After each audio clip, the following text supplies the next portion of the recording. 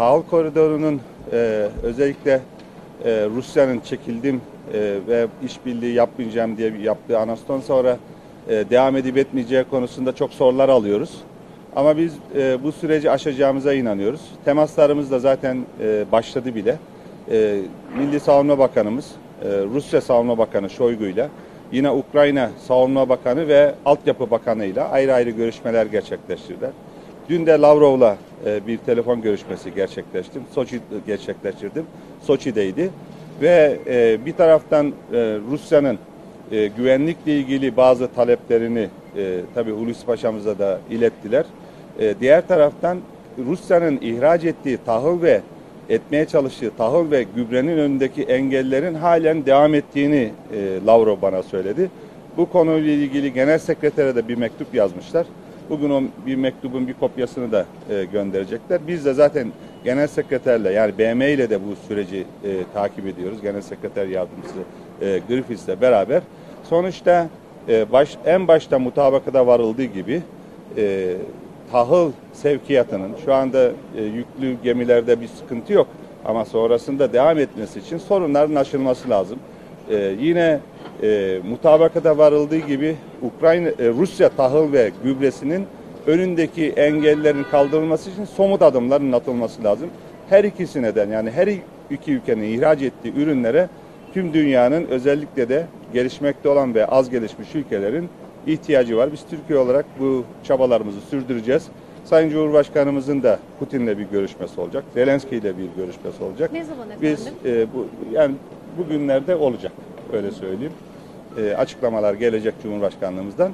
Ama e, Cumhurbaşkanımız bizzat e, bu konuyla e, ilgileniyor. Biz yoluna e, koyacağımıza inanıyoruz. Bu herkesin yararına. Bir taraftan savaş devam ediyor maalesef. E, üzüntü verici görüntüler devam ediyor. Ama e, iki ülke arasında esasen güven arttırıcı önlemler de oldu. Bizim de katkılarımızla.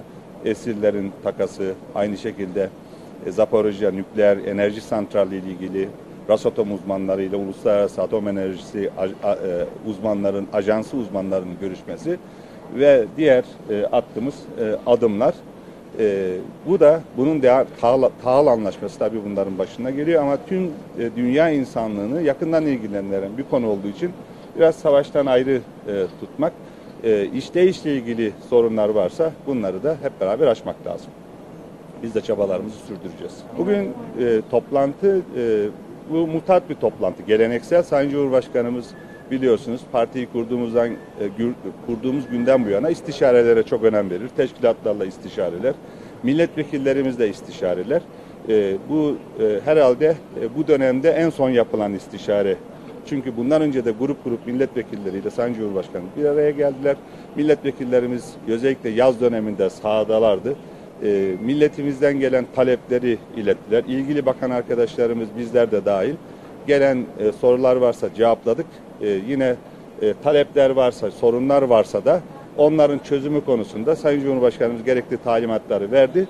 E, sonuç odaklı çok faydalı bir e, istişare toplantısı e, oldu bugün. E, her zaman olduğu gibi. Gaz merkezi ile ilgili Rus ve Putin'in teklifinden sonra enerji bakanlarını görevlendirdiler Sayın Cumhurbaşkanımıza Putin. Bir e, çalışma yapılıyor ve bu çalışma neticesinde ne kadar talep var Avrupa'da özellikle çünkü bu gaz merkezi kurulacak merkez ilave boru hatları da olabilir. Esas itibariyle Rusya'nın Avrupa ülkelerine ihraç edeceği gazla ilgili Putin de bunu söylemişti.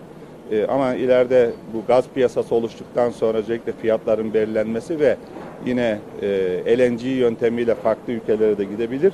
Ama bununla ilgili şu anda e, teknik düzeyde e, enerji bakanlıklarımız arasında çalışma devam ediyor. Biz de özellikle Avrupa'da ne kadar talep olacak olmayacak e, o konuda da Dışişleri Bakanlığı olarak katkılarımızı yapıyoruz. Çok teşekkürler arkadaşlar.